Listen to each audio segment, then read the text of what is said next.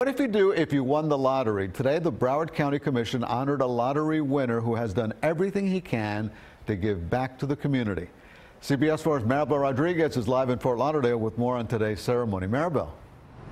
Hey, Elliot, it was great. He was here with his family, and it really is refreshing to hear these stories.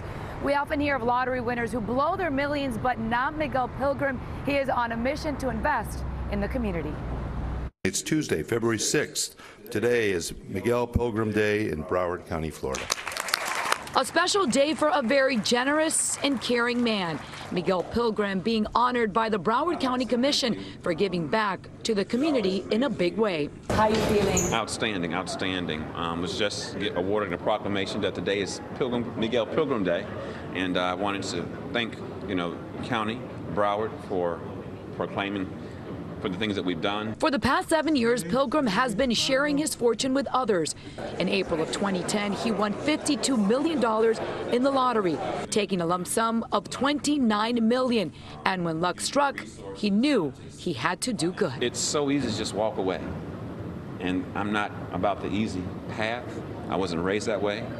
There's so much historical culture that needs to be preserved. The once global security advisor for Norwegian Cruise Lines is now on a mission to preserve neighborhoods like Sistrunk. Uh, it reminds me of where I was raised in Memphis, which no longer has the, that historic aspect.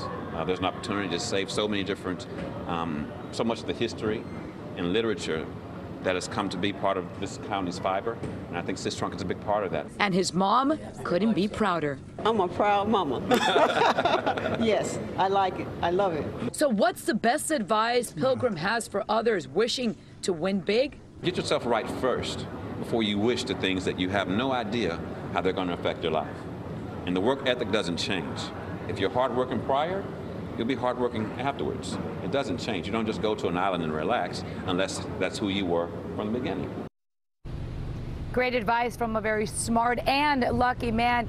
He is also opening up a jazz lounge, launching a clothing line, and invests his time with several organizations like the Boys and Girls Club and the United Way. We wish him the best of luck and may his fortune multiply. Live in Fort Lauderdale, Maribel Rodriguez, CBS 4 News.